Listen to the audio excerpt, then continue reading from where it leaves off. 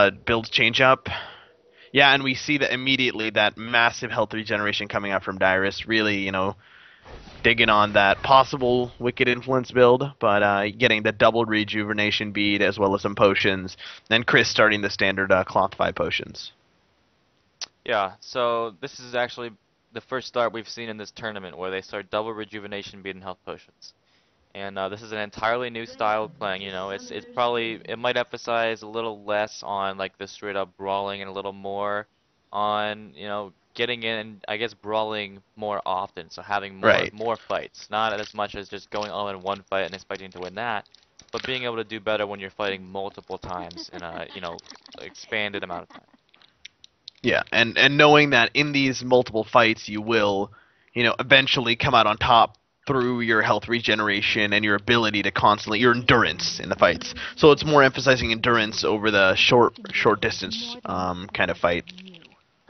Yeah, definitely. And so, as far as skins go, we see the Battle Bunny Riven coming out from Dyrus and the Championship coming out from Cris. I think Cris has been using the uh, Championship Riven all tournament, if I'm not mistaken.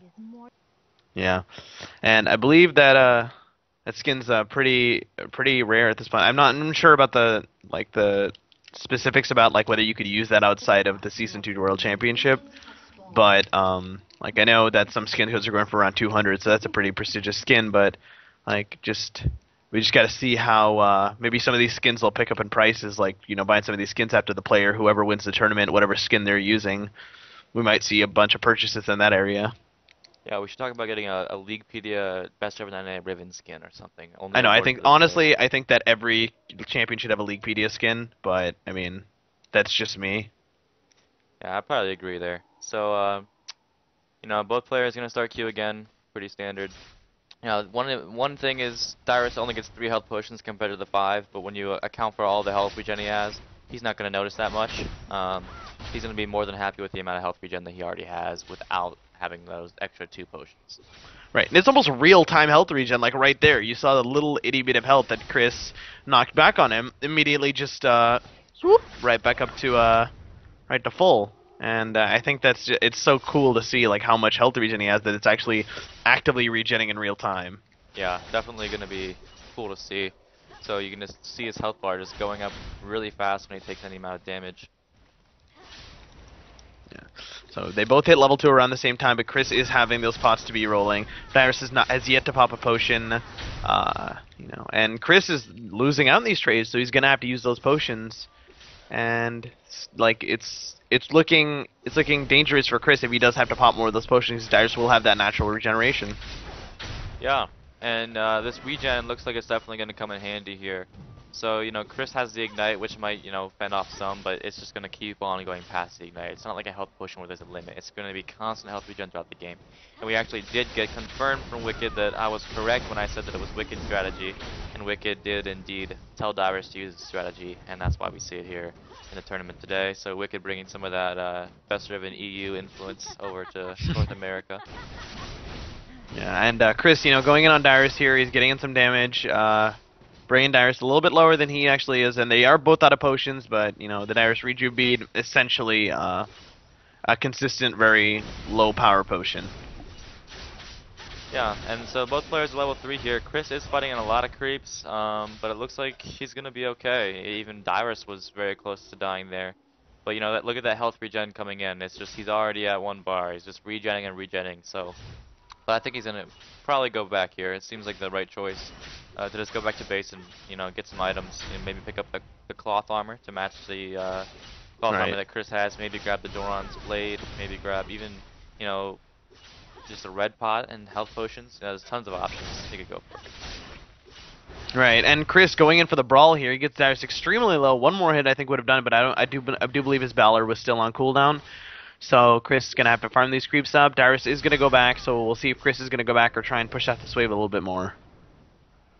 Yeah, and so Dyrus does go back and buy the Doran's blade with some more health potions. Um, it'll be interesting to see what Cris does. If he's gonna go for that Ninja Tabi again, or if he's gonna opt for maybe a, a red pot or a blade or something like that. Or you know, we haven't. I don't think we've seen a brutalizer all day. We've seen the components of one, but I don't know if we've actually seen a game go on long enough to where a player can actually buy a brutalizer. So Right. It might be interesting if this game goes on long enough and players can you know start getting into their builds. I don't know about stream one, but definitely on stream two, we haven't seen many late game, you know, Yeah, uh, yeah, games go sure. on. So no bloodthirsters, no brutalizers, no last whisperers. And I think you know there's a certain amount of starting items and early game items you can go that we're gonna see. And obviously we have this new Wickd strategy coming in here this game. But you know, as the game goes on, there's there are more and more options as the players get gold to what exactly they can build, and we'll start seeing some crazy variation if these games start going to late game. And I think that, you know, of all the players competing in this tournament, Dyrus and Cris, are, it's probably a safe bet to uh, to you know be one of the games that goes to late game because both players are just so calculated and don't want to mess up, don't want to make any mistakes. They're not super aggressive like like Imaqtpie or something. They're just you know they're playing to win. They're gonna play safe, that kind of thing. Yeah, and we see Cris kind of adapting to that health regen strategy by picking up a reju bead of his own and just immediately going in for that brawl with Dyrus, even within the within the like, despite the fact that Dyrus is a big creep wave, you know, fearlessly attacking him and then backing off, knowing before the creeps start attacking him that he can get in as much damage as possible. So, uh, you know, it, that regen bead is going to have to come in handy for him, but at the same time, Dyrus is lacking that armor. So, a lot of these uh, instant trades, Dyrus will lose out in. So, if Cris can all in him and get all that damage out, you know, in one fell swoop, I think he will come out on top. On the other hand, Dyrus has hit six first, so we'll see if he does uh, try and get that ulti down, get that damage on, down now to cripple Cris in terms of his regen. Yeah, and so you know, Cris picks up this rejuvenation bead. Uh, I don't know how much I like that pickup. You know, with Dyrus, it was kind of like the double rejuvenation bead star. The rejuvenation quince comes in with a you know big advantage, but I'm not sure what exactly spending 180 gold on that rejuvenation bead single is gonna do for Cris. You know. Right, and I think it was more like he saw uh, he saw the idea and kind of thought, hey, that's a good idea. Maybe I should try this. So it may work out for him. But uh, Cris popping his ulti here, going in on Dyrus, getting the ignite down. Dyrus's barrier is popped. Uh, Cris bringing him low. Oh, Cris getting break, waiting for the barrier to break. Dyrus getting Cris very low as well with his wind slash. Like both of them waiting for that barrier, being patient, calculated, knowing how much damage they needed to do, bring them low enough to get that wind slash off. But neither one able to finally finish off their opponent. So Yeah, and this is just the closest calculated play we can expect in this matchup. You know, both players have played top lane. They both have a nice feel about how much damage they can take, how much damage they can do. You know, Dyrus, he doesn't really have as much of a feel for how much damage he can do, not being a huge Riven player. But, you know, in his time playing top lane, you know, he spent years and years playing the game professionally on Team Solo Mid. He's gonna have, and, and even in solo queue, he's gonna have to face Rivens every once in a while. So he still has an idea of, you know, what her spells do. He's played her a few times. He's got some light experience on Riven and against Riven. Whereas, yeah, and it's know, an underst- Cris would Cris would have more, but then Dyrus has you know the experience of years of professional League of Legends play on his side. Right, and the understanding right there coming in, Cris, despite being lower health than Dyrus, Dyrus backed off knowing that he would take a lot of damage from that Broken Wings auto attack, Broken Wings auto attack combination. He knew that he would lose out in that trade despite having more uh, effective health than Cris. Right. And Cris does get a nice uh, Ki burst off there, and a little bit of harass, but still these players are just remaining so even on health.